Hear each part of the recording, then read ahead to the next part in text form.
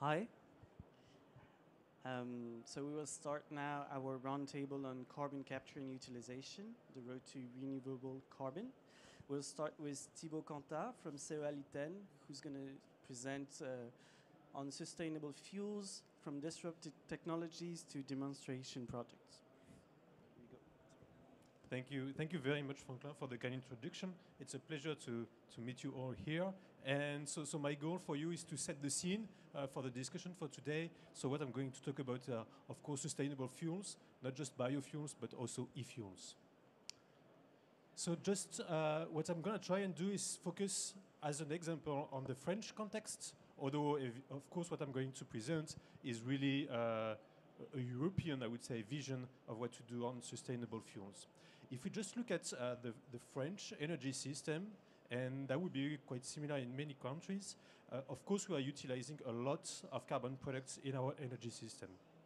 Why? Because uh, carbon products are mostly uh, fossil-based carbon products coming from oil, coal and gas are utilized for two different kinds of applications. Of course, the production of energy, but also the utilization of carbon products in other sectors in the aim for, when we are aiming for the energy transition and to reach net zero emissions, the idea is to replace, of course, this fossil part of our energy mix with non-fossil alternatives, meaning to go for electrification uh, of the utilization of fossil resources. Nonetheless, we need to recognize the fact that about a third of the uses of carbon products cannot be substituted with alternatives such as electrification, utilization of H2 technologies, or batteries.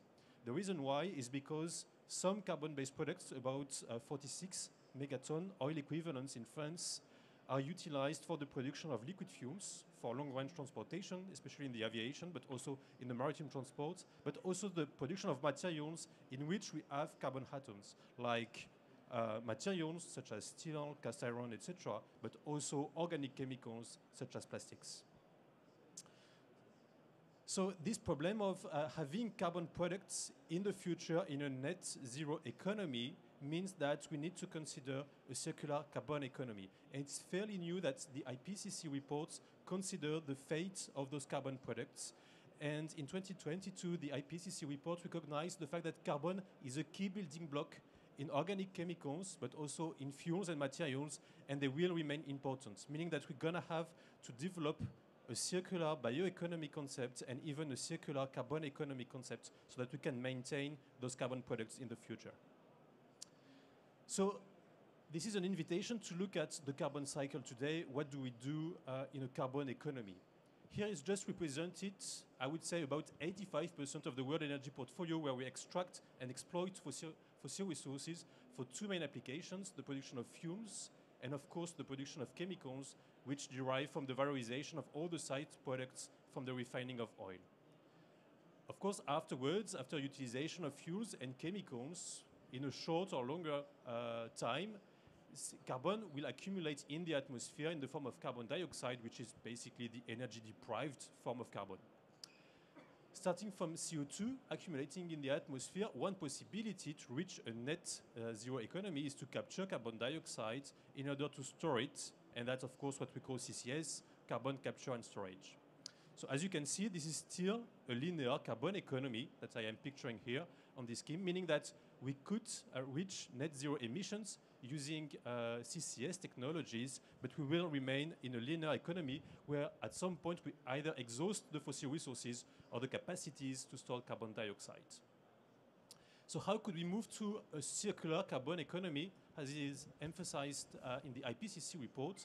This means that we would move towards the capture and utilization of carbon dioxide. And to be able to do that, to produce chemicals and fuels again from CO2, we need to inject, of course, a lot of energy. Ideally, utilizing renewable energies, such as solar energy, most likely in the short run, utilizing H2 coming from the electrolysis of water using green electricity or low carbon electricity coming from nuclear power plants to convert CO2 and hydrogen together in hydrogenation technologies to promote the formation of fuels and or chemicals. I would argue that in the longer run, uh, we could shortcut the value chain for the production of fuels and chemicals by directly utilizing electricity or even uh, sunlight in the conversion of CO2 to produce e-fuels and solar fuels in a much shorter way. Biomass uh, is a key element in a circular carbon economy. Why? Because you can see biomass as a concentrated source of carbon dioxide coming from the atmosphere and a concentrated source of sunlight. Meaning that photosynthesis has already pre-concentrated CO2, uh, atmospheric CO2 and sunlight. So how could we define uh, a circular carbon economy? It is basically the collection of other technologies which are able to convert CO2 but also uh, derivatives, such as com derivatives coming from biomass, into useful products, namely chemicals and fuels, of course utilizing low carbon energies to achieve carbon uh, neutrality with a positive environmental and societal impact. I would argue that uh, this raison d'etre uh, for, for e-fuels, uh, for e-chemicals, has been much, uh, much stronger since 2022 when the European regulation kicked in with the Fit for 55 uh, package, setting a trajectory both for the aviation sector and for the maritime transportation. I would focus my presentation mostly on the aviation because it's a bit easier to follow in terms of uh, market shares uh, that are targeted in the regulation. And when we look at the number, what the regulation is setting is that by 2050, we need to include 70% of sustainable aviation fuels in, uh, in our planes. 70% of uh, sustainable fuels, this is not just one simple target, there is a second target, the fact that we need about 35% of synthetic fuels, so e-fuels coming from the conversion of CO2, to avoid putting too much pressure on the utilization of biomass. An interesting aspect of the regulation is the fact that the EU Commission is not giving us a target for 2050, that would be, uh, I would say, a long range target, but it is also setting targets in the midterm. For instance, in 2035, we already need to produce 5% of synthetic fuels and include 20% of sustainable fuels for the aviation. So how do we make uh, sustainable fuels? Uh, I would just set up the scene with a very simple picture to highlight the value chain for the production of e-fuels, biofuels, and hybrids like e-biofuels, which I'm going to present. First, we need to capture uh, the, the carbon matter, either utilizing the capture of CO2 from the atmosphere or from point sources, but we can also think about the valorization of carbon coming from biomass or from recycled products.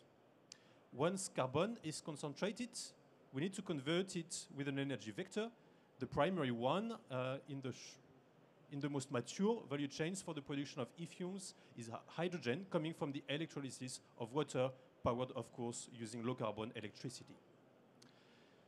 Once carbon and dihydrogen are produced together, a conversion, which is typically a thermocatalytic process or a sequence of different thermocatalytic processes, will allow you to produce a fuel or a chemical.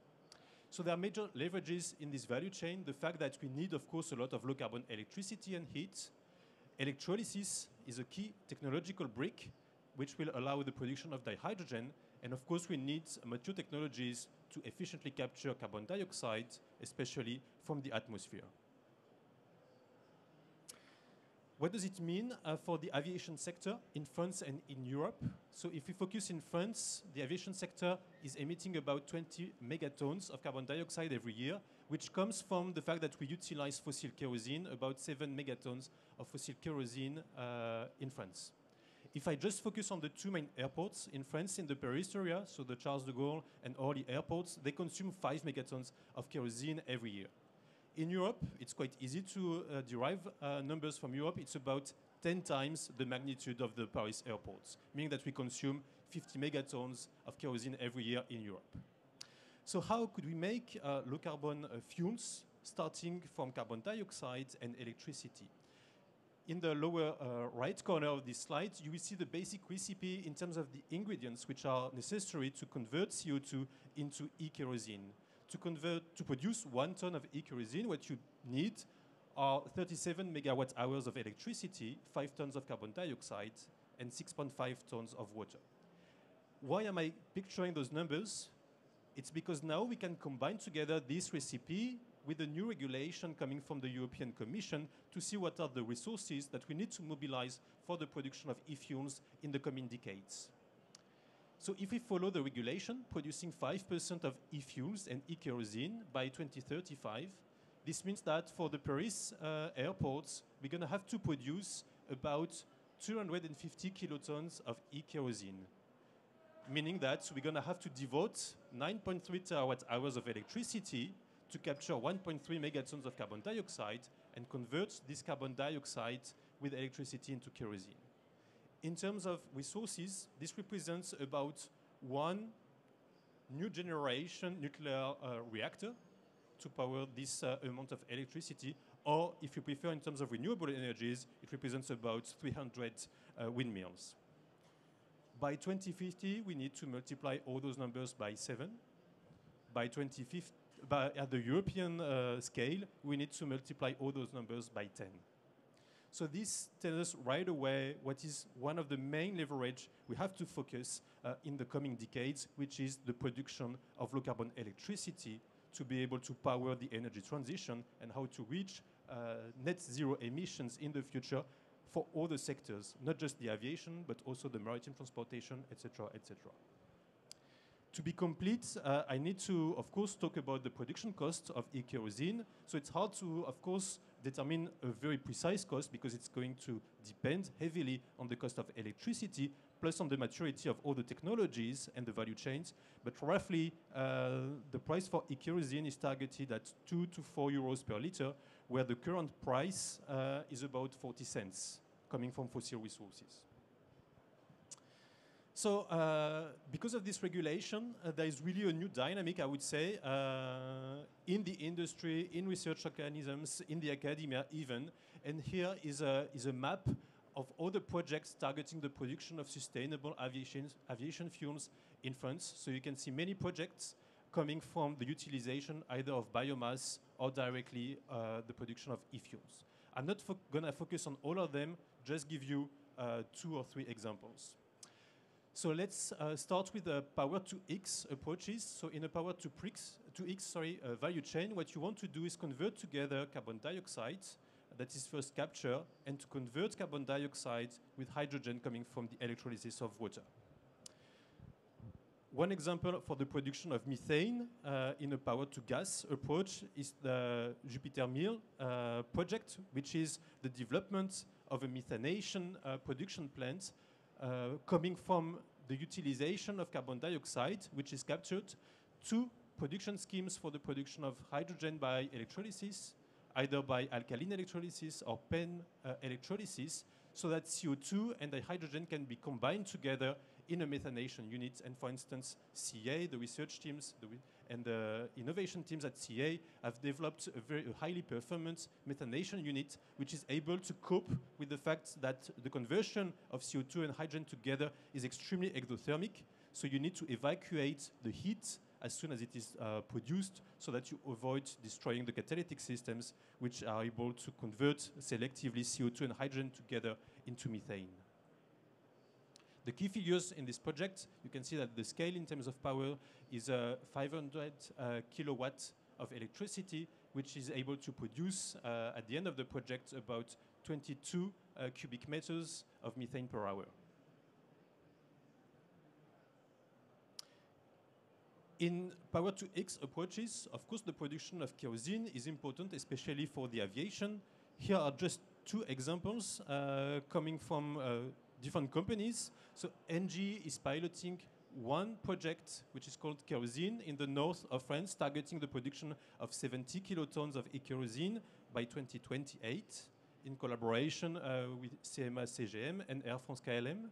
And on the other side, Take Kair is a project that is led by uh, EDF, so the main French electricity company, uh, targeting also the production of e-kerosene from CO2 and electro electrolytic dihydrogen.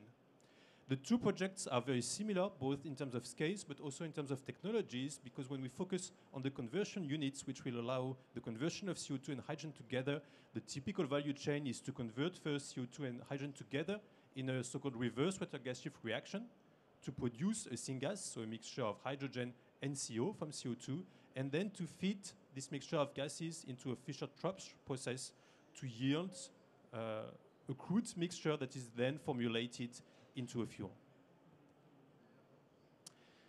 As I mentioned, in a circular economy pathway, CO2 is not the only source of carbon that you can utilize. Of course, the utilization of biomass is extremely appealing. So many projects are dealing with the utilization of biomass to produce fuels, meaning biofuels. But an improved version is to try and utilize all the carbon matter that is contained into biomass to convert all the carbon into a usable fuel or into a usable chemical. So in a power and biomass to X approach, what you want to do is to take biomass, to convert it to, for instance, using a gasification process to generate a gas, and to convert completely this gas and all the carbon matter that is contained in the gas by the addition of electrolytic dihydrogen so that you can produce fuels and chemicals. An example of such uh, a process, such a value chain, is the Metaren project, which is a European project aiming at boosting the production of biomethane from carbon wastes. Although in a typical uh, fermentation process, you will only, only valorize part of the carbon matter, if you introduce green hydrogen, you add more green hydrogen, and you convert the digestate of your um, anaerobic digestion by gasification and addition of green hydrogen, you can convert and aim for the conversion of most of the carbon matter that is contained in the organic waste. In this project, uh, which has started uh, two years ago, the conversion of carbon uh, that is targeted is above 80%. And if you are interested in this kind of project, you can look at, at the detailed presentation by Geneviève Geffraye from CEA at 3.30 in the other room. To close my uh, presentation, uh, I will of course give you a very short glimpse at what could be disruptive technologies, how we can move from traditional biofuels or e-biofuels or even e-fuels going directly to solar fuels.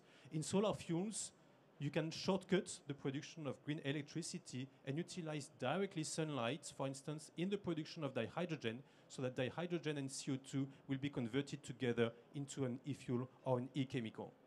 As an example, CEA has led one uh, project which, uh, which has participated to the finale of the Horizon Prize uh, concours uh, last year, two years ago, sorry, in 2022, on artificial photosynthesis for the production of fuels from the sun. So CEA developed a very innovative demonstrator for the production of solar fuel, especially the formation of solar methane, by using an integrated photoelectrocatalytic cell, which is able to convert water and sunlight together into dihydrogen. And dihydrogen was utilized in the presence of carbon dioxide in a bioreactor for the production of methane. And those kind of biohybrids uh, system where we use physicochemical techniques for the conversion, for instance, of water into dihydrogen, and biological approaches for the conversion of CO2 allowed us to reach uh, state-of-the-art yields in the production of solar methanes directly from solar energy. So with that, uh, I invite you, uh, if you're interested, to join the Liten Days, which we, is going to be a big event at CEA this year in March, early March, uh, where we're going to celebrate the 20th uh, anniversary of the Liten Days. If you are interested in networking on problematics around the energy transition, you are more than welcome in Grenoble. Thank you very much for your attention.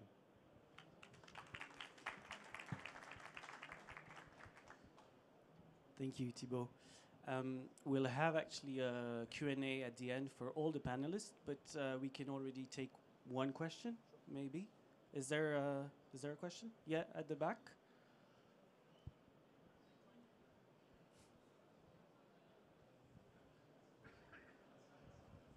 Uh, just a question of uh, efficiency between the different processes uh, regarding the end fuel. Uh, do you see a big difference when you are using this technology to produce e-methane, e-kerosene? And uh, do you think there is an optimization to be made? Thank you. Yes, so, so, the main factors that you want to optimize are three factors. What is the yield in terms of the utilization of carbon, because capturing CO2 is, is costly. what is the efficiency in terms of energy efficiency, because I highlighted the fact that electricity is going to be a scarce resource, and what is the efficiency in terms of the overall cost. Uh, I would say it really depends on the molecule you are targeting. For instance, if you look at how much carbon is converted in the hydrogenation of CO2, I would go for methane because this is a very selective transformation where you can convert completely all the CO2 into methane. But if you are in the fuel in the aviation sector, you are not much interested by methane, so you're gonna want some e-kerosene. And in this case, uh, it's a competition between the different technologies for the production of kerosenes of kerosene that you have to compare. For instance, do we go for a Fischer-Tropsch process or do we go through a methanol process? Thank you, Thibault.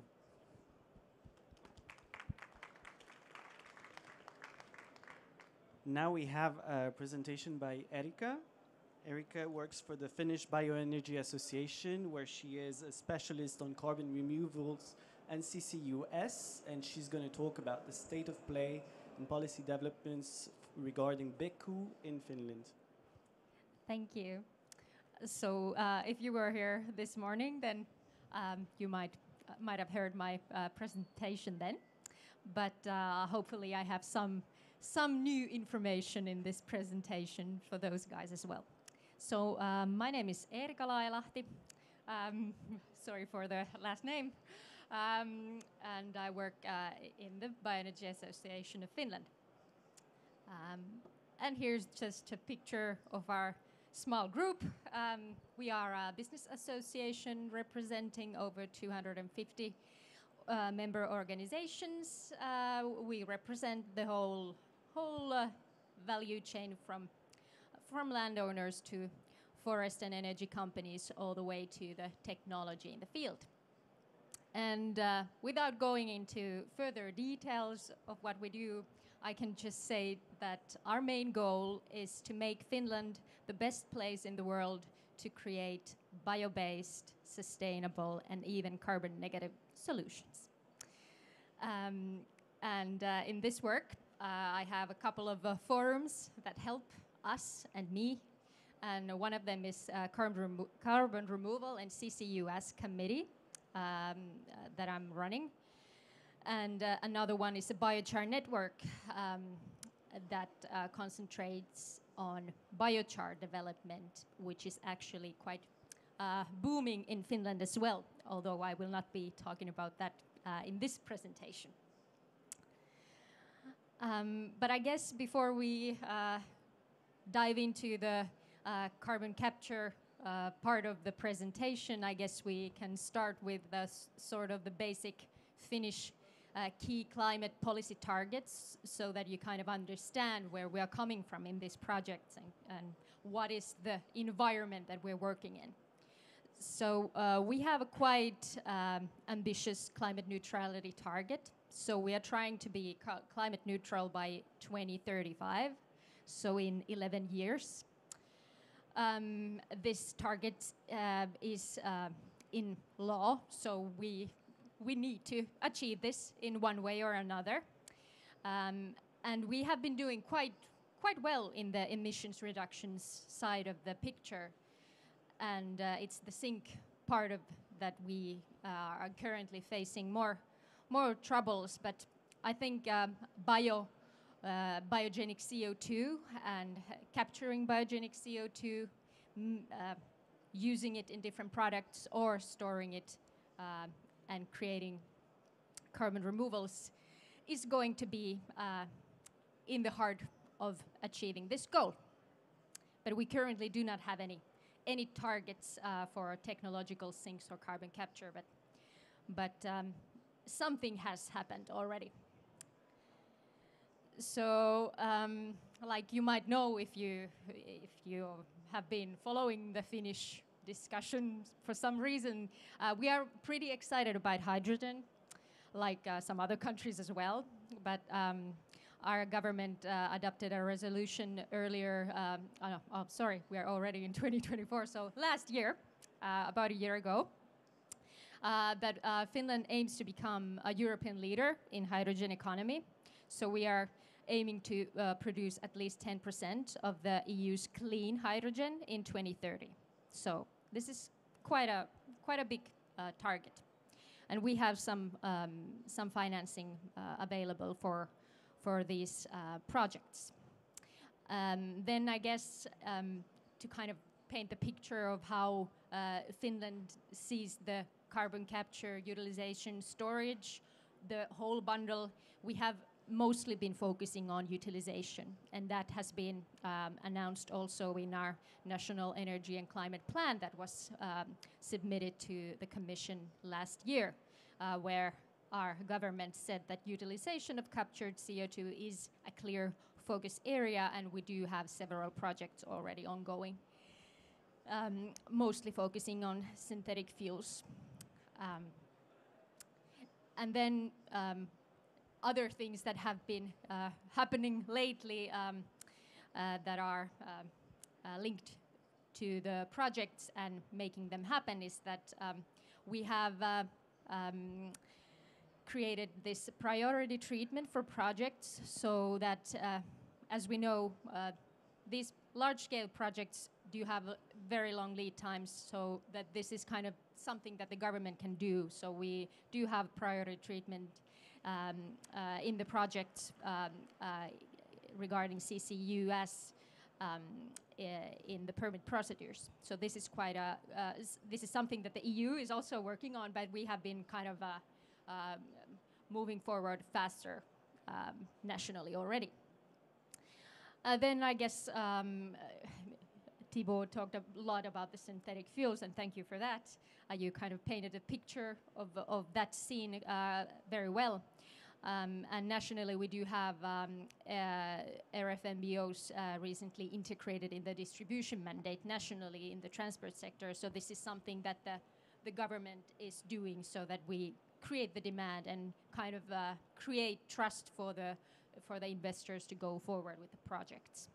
And we do have some some uh, national investment aid uh, already granted for projects in carbon capture and synthetic fuels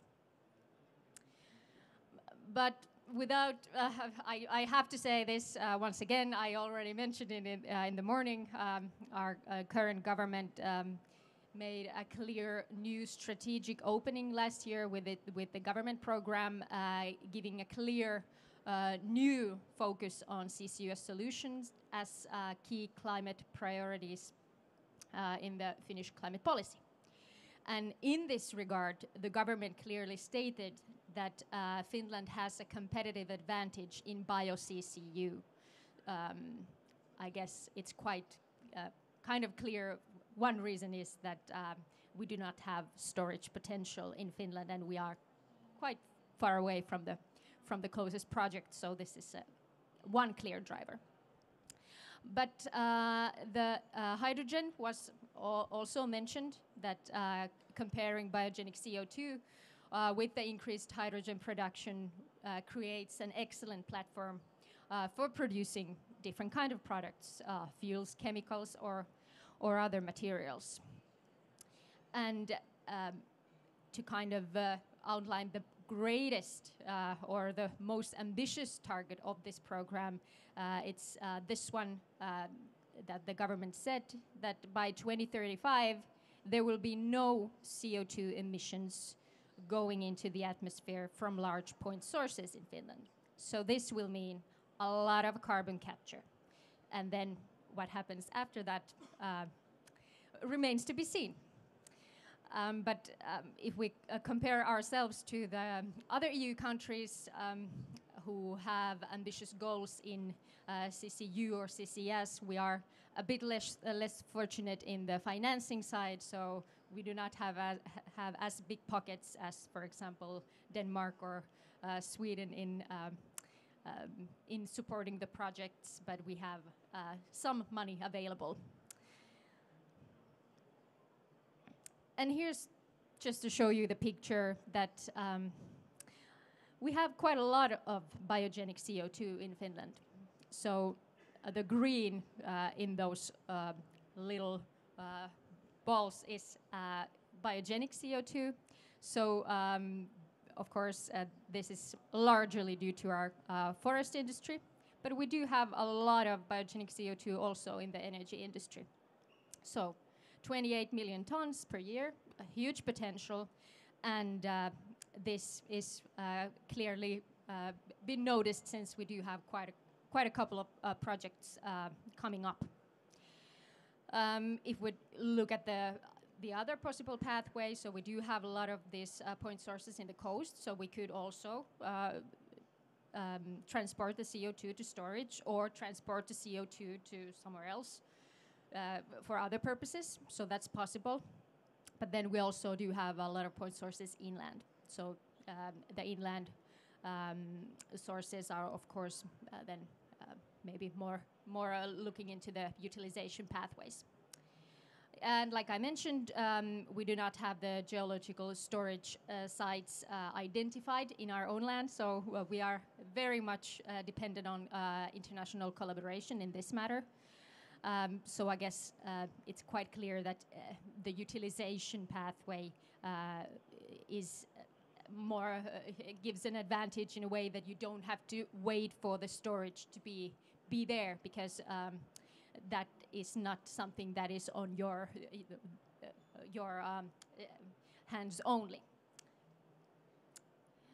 Um, but I I heard uh, a, a, conversation earlier when uh, you you gave the presentation uh, before lunch, and there were the questions of. Uh, energy efficiency and, and price, etc. So, just to point out why Finland is quite quite a prominent place to consider uh, making these fuels is that, uh, for one, we have a lot of renewable energy, but then two, we also have uh, a lot of emission-free energy. So our grid is about 90% uh, emission-free. Uh, um, so that is a clear advantage if we, if you uh, think about making making the utilization projects happening.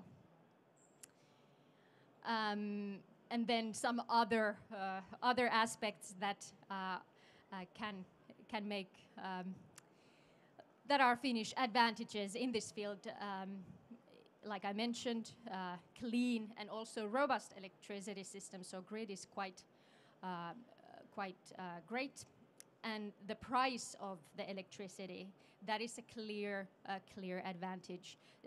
last year, I think Finland was among the, if not the cheapest, but among top three uh, cheapest electricity prices for um, uh, if uh, we look at the price outside households. So, so clear advantage in that. And then we uh, electro electrolysis needs uh, clean water. We have a lot of it. And then, of course, the biogenic CO2. And on top of this, uh, we do have a lot of technological expertise in this matter, and we have been uh, doing a lot of research regarding uh, both uh, CCS in the early years and in the most recent years, uh, a lot of uh, research looking into the utilization and different value chains regarding that.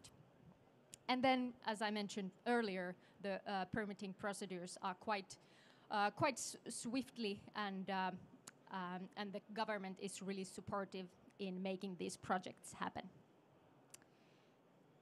And uh, yeah, I already mentioned about this. Um, and uh, and yeah, I guess I could uh, add on that that um, uh, when we're talking about the the companies are trying to figure out if they should uh, go on the utilization or storage uh, pathway, then I guess um, one driver towards the utilization pathway has also been a bit of a, a clearer business case. I'm not saying that it's uh, so clear in every case, but maybe a bit clearer. And then, of course, these uh, clear synergies uh, with the transport biofuels activities that we have been doing a long time. And uh, here are just a couple of uh, the most recent or ongoing research projects uh, regarding especially uh, bio-CCU. And there are actually quite good materials in English um, um, on this website. So if you're interested, then I, I suggest you take a look. And here, um, there's a list of uh, announced uh, biofuels and synthetic fuels projects. And we uh, have uh, calculated that um, all of these announced projects would require about 1.1 million tons of biogenic CO2 annually. So quite significant amount. But then again, if we compare it to the uh, potential that we have, then uh, we do have a lot of room for more. Um, and as you can see, most of these projects uh, have been going to the synthetic methane uh, pathway, which is, uh, Thibault told the uh, advantages in that. And, and of course, I have to mention that um, one driver for that can also be that uh, Finland is sort of an island uh, in the north of Europe, so we do have a lot of maritime needs of our own, so kind of uh, demand uh, is uh, quite clear regarding that one. but I then it's not just the fuels. It's mostly fuels now, but we do have up and coming other interesting solutions in utilization. So uh, here are a couple of examples. So Carbonaide is a startup that uh, is creating uh, carbon negative concrete. So um, and they have uh, biogenic CO2 as part of their production. And another interesting example is uh, another startup called Solar Foods uh, that use uh, CO2 um, in creating protein. Um, they use direct air capture there, but anyways, carbon capture and uh, utilization.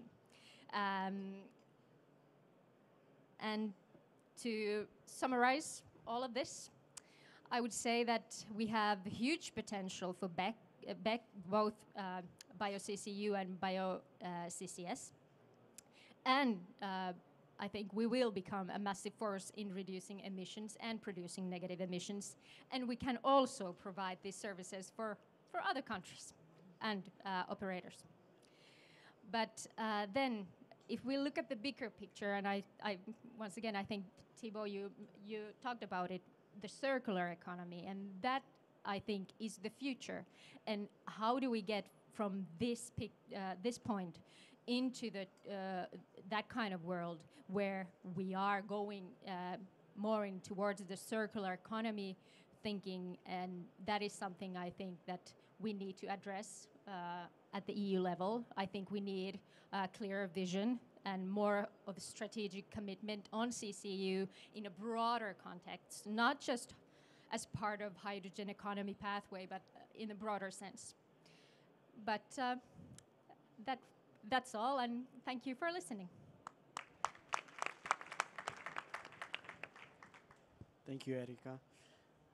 Um, well, we could take one question. Otherwise, actually, I have one because you were mentioning just at the end the role of CC, um, the European Union for CCU, CCS. Um, and you talked quite a lot during your presentation about CCU fuels, renewable fuels. Um, on that sense, and it makes also the link with Thibault, we have a legislation now at European level for uh, the maritime sector and for the aviation sector. It's going to have to be implemented now in Finland.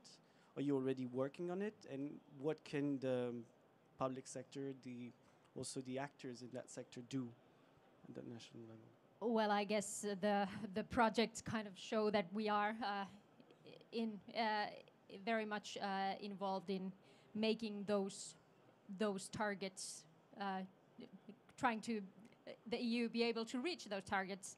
Um, but as I mentioned, I think the kind of uh, uh, there is no, like you mentioned in your presentation, we don't have a legislation solely focusing on CCU uh, or any other paper, even just some kind of outlining uh, solely focusing on CCU. So I think maybe there should be something that kind of puts all of these uh, pieces into one basket and and uh, kind of uh, makes it easier also for national level um, policymakers, but also the actual actors to understand that okay, what is needed and where is kind of the where is the the future going to be.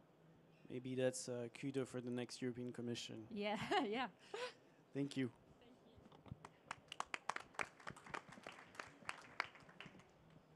So now the, we have our third and last panelist, Tim, who comes to us from ERGAR, which is the European Renewable Gas Registry, where he is the Secretary General.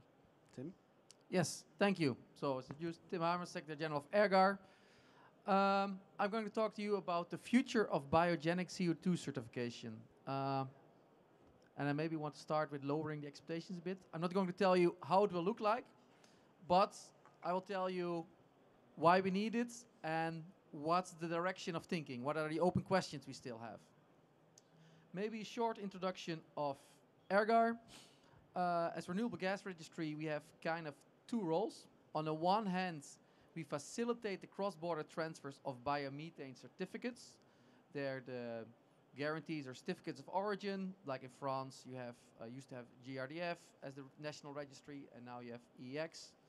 Um, we make sure that the national registries can trade amongst each other. And at the same time, we provide a forum for all stakeholders in the biomethane certification supply chain. So these are the distribution system operators, uh, traders, uh, biogas associations, and the national registries. So we bring them together and we discuss everything related to biomethane and renewable gas. And during one of the discussions, we also ran into the issue of uh, biogenic CO2 and certification. And then we realized that there's nothing really happening here yet. So we thought this might be a good moment to, to start a discussion, get everybody around the table and see um, what can happen here. Um, maybe a start biogenic CO2. I think has been discussed many times today, so I won't go into de detail on this presentation.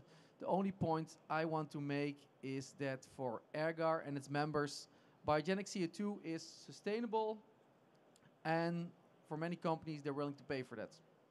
Uh, many big corporates, uh, they're willing to pay for biogenic CO2 in comparison to fossil CO2. Um, and that's why we believe there's a need for certification.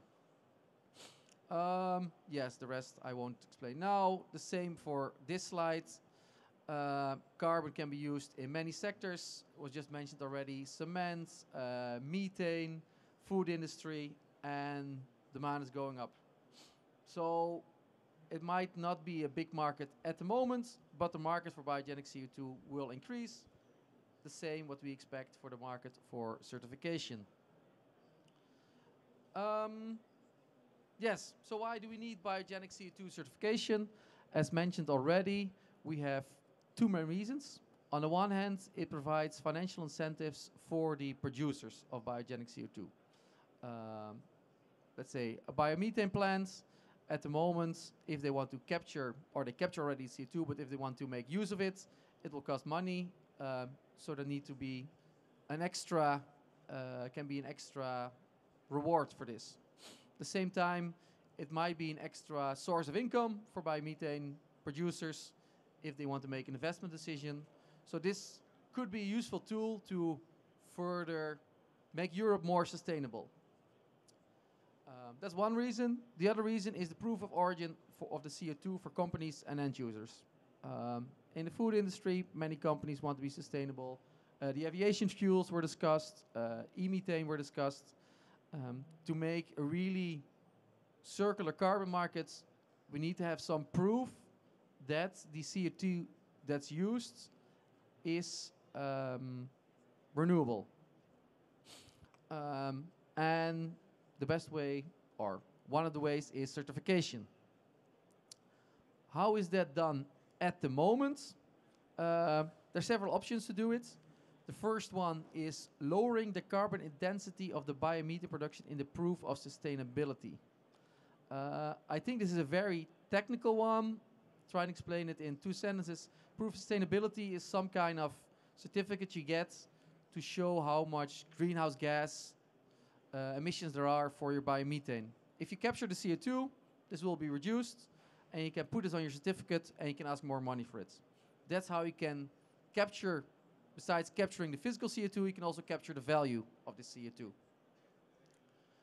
A second option is a new carbon removal certificate legislation. Um, this also works if you store the carbon in one way or another. Um, and this is not what we're thinking about. We're talking about the use of the biogenic CO2, for example, for the e-fuels or the food industry or any other chemical. And at the moment, there's no certification or there's a limited structure for certification yet. I know there are some uh, companies doing it, but not a European-wide framework to organize this. um, the only thing that sometimes does, or that's the most common way, is that the biogenic CO2 is sold directly to the end users um, to be used for bio e-kerosene, for example. Um, so this is the focus of our thinking at the moment, like this number three, the biogenic CO2 certification for usage. So if you have CO2, biogenic, that you want to use for a specific case, how can you prove that this CO2 is um, sustainable? Of course, that's easy when you just get it from biomethane plants and use it in your production. But a step further, how do they know? You need to have some kind of system behind it. Um, and ERGaR, we worked on such a system of traceability, tracking, certification for the biomethane. So we don't need to reinvent the wheel, but we can look at these certificates for inspiration. Uh, I won't go into detail into this completely because it's a different topic, but I can briefly go over it. You have the guarantee of origin. Some of you may know it. The idea is that you use it for consumer disclosure in the voluntary market based on the Renewable Energy Directive and the European standards. Uh, and it's issued by a national reg registry, a government appointed issuing body, like at the moment EEX is in France, um, but for example, Vertisair in the Netherlands. Uh, the system is book and claim, so that means you send the gas in one direction and the other direction you send the certificates, and it no doesn't need to be linked as long as every the producer and the user are connected to the EU gas grid. And the tracking is done by national registries. So in the national registries, you have accounts, and there you can see who's the owner of these certificates. And when you transfer it, you inform the, the registry, say, okay, now it needs to go to this account. So it's a solid system.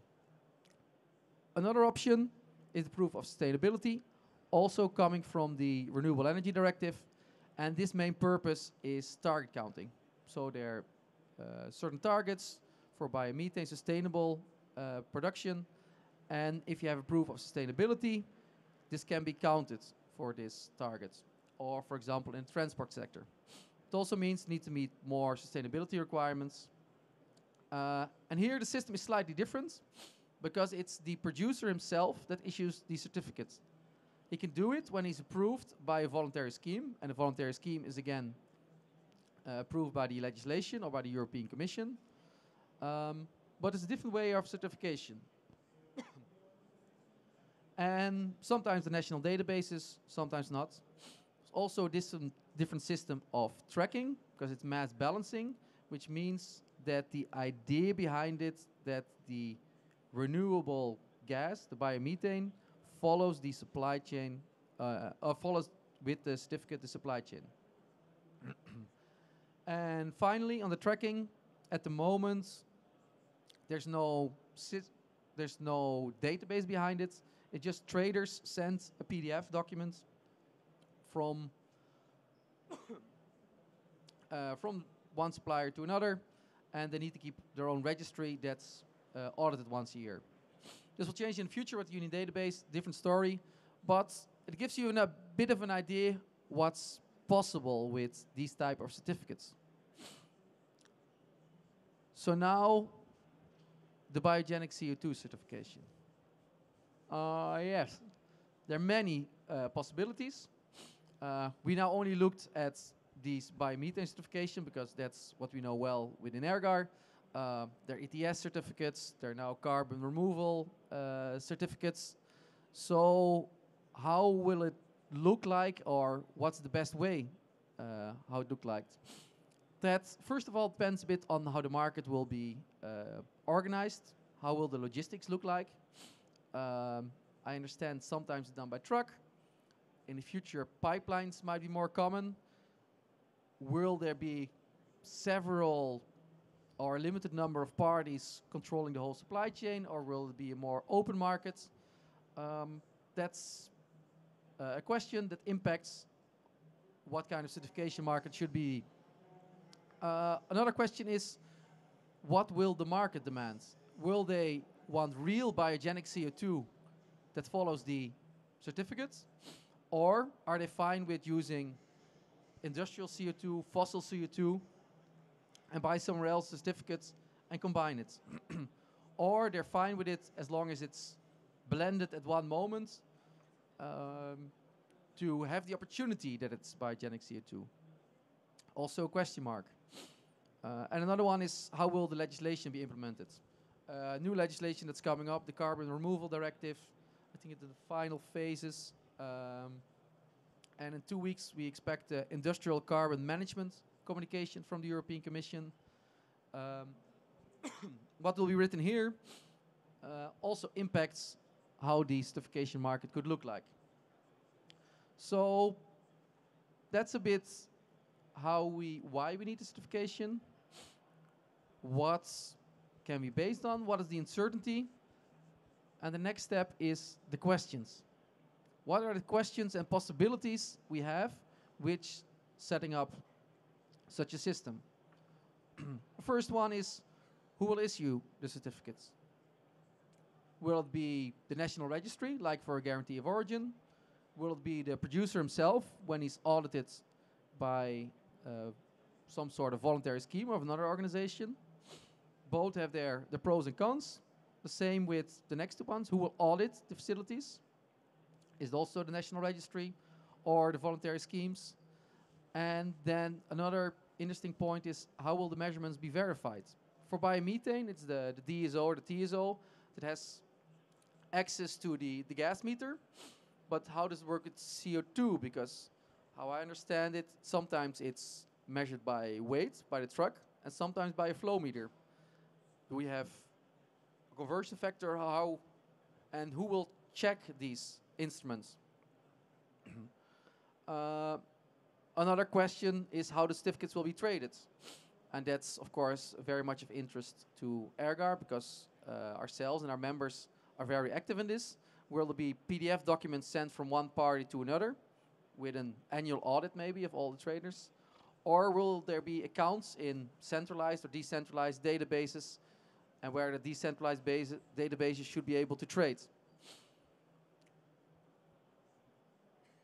Another question, the mass balance system or the book and claim system, a bit coming back to the question on if the uh, market will be fine with buying fossil CO2 and buy a certificate somewhere else, or they really want that the CO2 they use in their food products to claim on the packaging we are completely sustainable with biogenic CO2 is really physical biogenic CO2.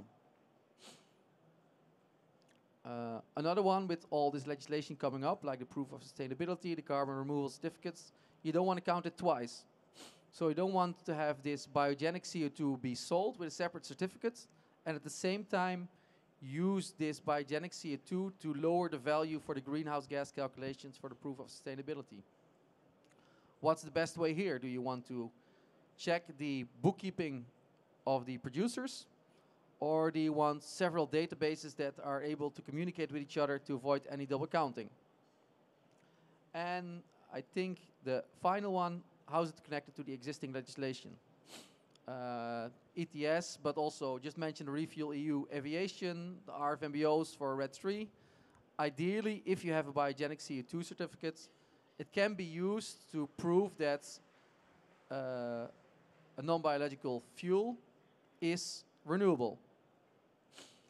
Um, unfortunately, I don't have all the answers. Uh, we have some ideas.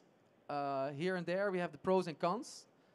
But then we uh, discussed it earlier this week. It's one big puzzle because one aspect impacts the other.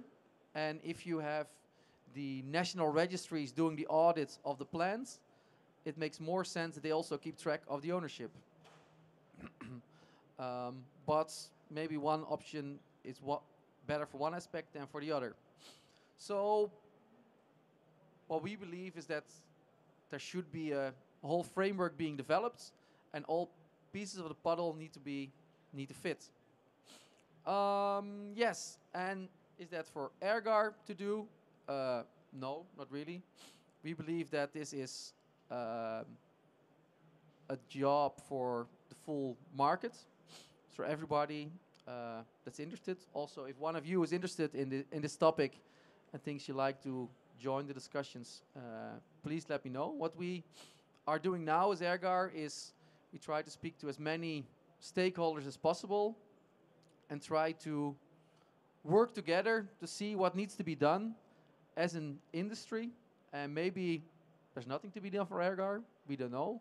But we do believe there should be a market for biogenic CO2 uh, certificates because there is the demand from the end users to know if their CO2 is biogenic. And we see that there is a demand from the producers of biomethane to get extra value for the biogenic CO2 they provide.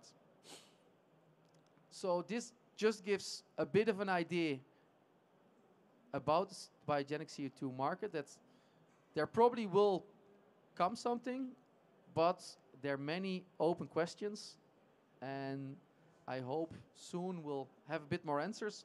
But for now, you have a bit of an idea what's being discussed. Thank you for your attention.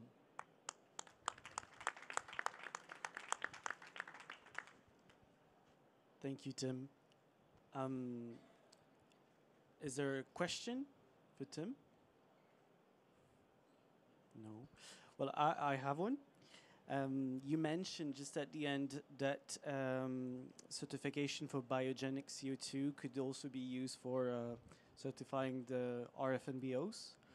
It's for RFNBOs, I know that you also need to certify the hydrogen origin, the electricity. How complex is that certification system for biogenic CO2 and overall? Um, And how does that impact your work?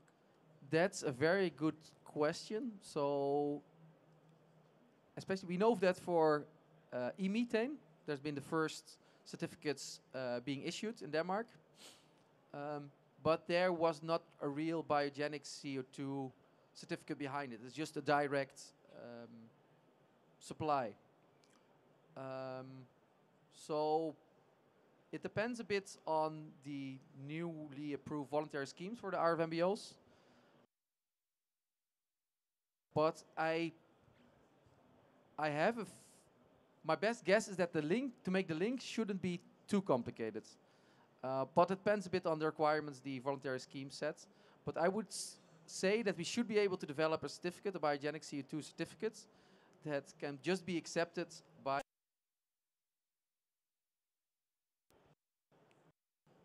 to claim something as a renewable uh, fuel. Thank you. Yes. Well, do you want to sit, Tim? Thank you very much. Um, my name is Miguel. I work for a company called Gas Lab that is dedicated over 60 years in uh, carbon dioxide technology. Okay, so we've been in business for quite some time. Um, I hear you speak, and it's very interesting. And uh, on the way, I feel it's some kind of a double-edged sword, because you probably know that today the only certification that you can find in the business for food is the Coca-Cola certification. Today, you go for CO2 and you say, okay, we're going to the uh, food grade. That's Coca-Cola, and that's it. Now, on the other hand, Coca-Cola will not accept uh, CO2 that comes from a bio origin because they are afraid of smell. So my question to you, is there any kind of direction or objective in your, in your organization to uh, direct the possibilities of all the producers to a product that is uh, uh, commercial, uh, commercially viable? Because today the bio CO2 has relatively little exits, uh, little uh, possibilities to get out. Because of this limitation, most of the people that are do, doing a refreshment that are great consumers of CO2 are using a fossil CO, uh, CO2, fossil origin CO2. They even have burners. So today, what is the direction this, your, your company is going to take? Are you going to smooth the road? Is it part of your intention? Are you going to separate or create another category for bio CO2 to be able to be uh, uh, placed into the market? It's a very good question. Uh, I also wasn't aware that about the difficulties with uh, biogenic CO2 in for Coca-Cola or food grades. Uh, we did it.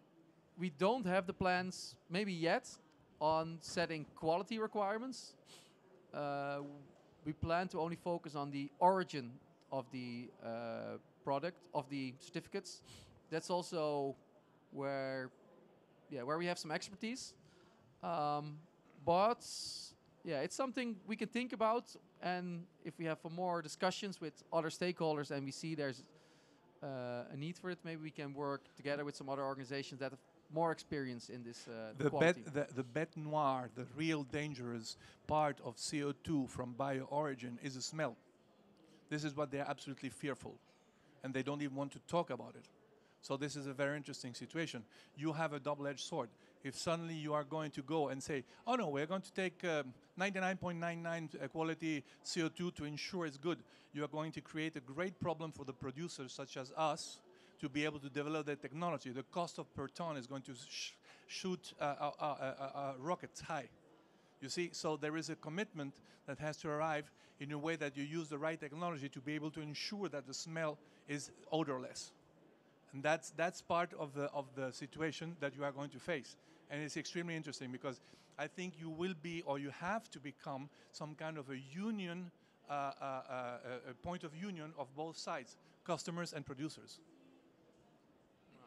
Uh, definitely point we'll, we'll take up, the, the quality. And we didn't speak that much yet with the, with the end users of biogen or CO of carbon or CO2 in, in general. Um, but we'll do it and yeah, we'll focus extra on the on the food grade type of uh, CO2. Thanks for the for the input on this.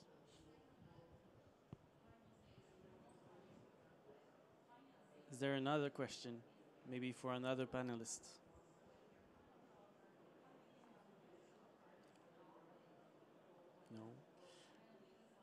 Okay, uh, Thibault, I was quite surprised by the data you showed. I mean, 110 nuclear reactors.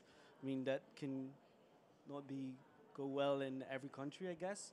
But I mean, we're talking about this amount only for renewable uh, synthetic fuels. So, do you have extra data? How does it go at EU level? Do you think the policy-wise they have this in mind? So, so, just to make to be very clear, I didn't advocate for development of nuclear reactors at that magnitude everywhere because uh, there is a civil choice to be made behind. Uh. It's just the the magnitude of the low carbon electricity that is needed to comply with the regulation. Uh, honestly, I don't think the European Commission really calculated how, how much electricity it meant uh, for the new regulation. Uh, but, but nonetheless, what I think it tells us is that we need to be very clear as a community that e-fuels, we're gonna need e-fuels, so we need to start developing the industrial sectors producing e-fuels because uh, for the aviation, for the maritime transport, we won't have the choice. We're gonna need some e-fuels. But at the same time, because the cost in electricity, the, the, how much electricity we're gonna need, and this is just talking about aviation and maritime, but a lot of different sectors are going to need some uh, low carbon electricity. We need to make sure that those e-fuels that are really dedicated for energy services where we don't have an alternative. It means, to be honest, that uh, all the different leverages like sobriety, energy efficiency, everything needs to be explored to its full potential even before the complete deployment of e-fuel. Of course. Uh, the number stuck with me. But can you remind us how many uh, windmills it was? Oh, honestly, I, did, I, don't remember. I think it should be like, uh, yeah, maybe, yeah, more than 2,000. Yeah. At the European le level for 2050. That's a lot. I think we have a question there at the back.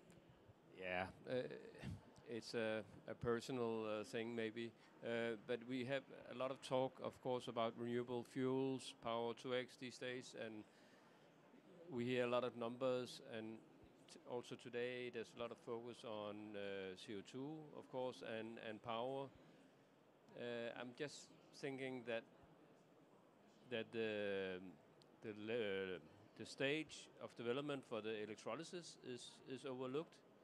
I mean, uh, I mean to produce hydrogen of this order of magnitude is I mean, in my opinion, not practical with today's technology. As I mean, yeah, you can have elec- electrolyzers, and yes, they work, and it's proven technology ex- existed for 100 years.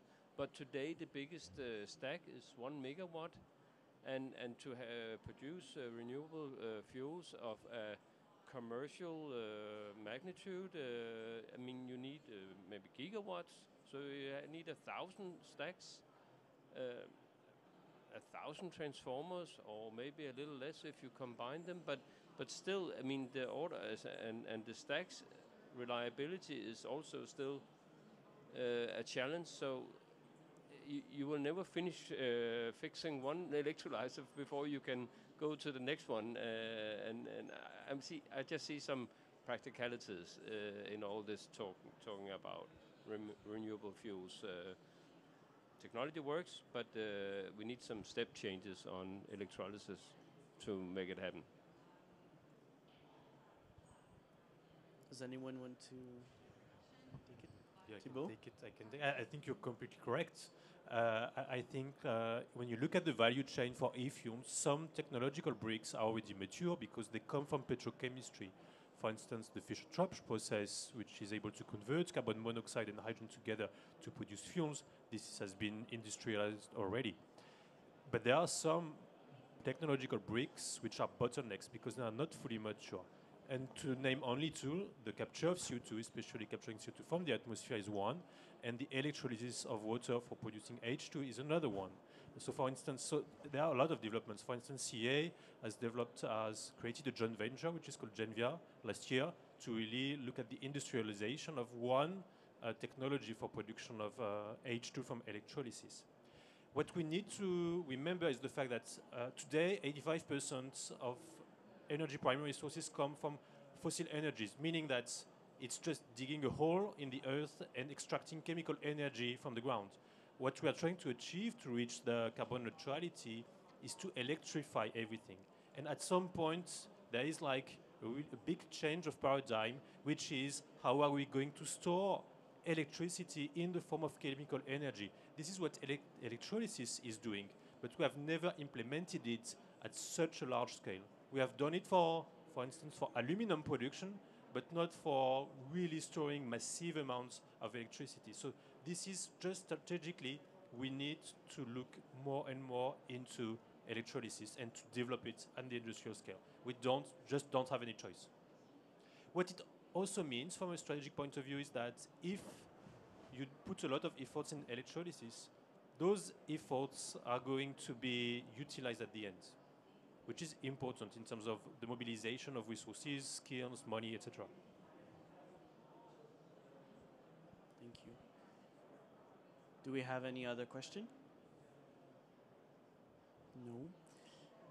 So I think we're getting to the end. Um, would the panelists like to make a last statement for the end? Well, uh, I can give one, which I already kind of uh, outlined in the end of my presentation. That that uh, also you have mentioned that the Commission will come up with the industrial carbon management strategy, and I think there probably will be some new and uh, very much welcome new um, ideas regarding carbon capture and utilization. But I think it's not going to be enough. So we will need to work on the policy because there's clearly some all the things you just mentioned, these need to be taken in consideration when we are building up into the 2050 climate target. We cannot put our eggs in the basket that we don't know, like if it's going to break in five years or 10 or 15. That we need to be sure that these things that we are putting our uh, hopes and dreams and all, all, all of the um, efforts in, that they actually can uh, provide the outcomes that we want. And yeah, I have it in mind, and this is actually the work of uh, CO2 Value Europe to make sure that uh, the institutions have in mind these elements. Thanks.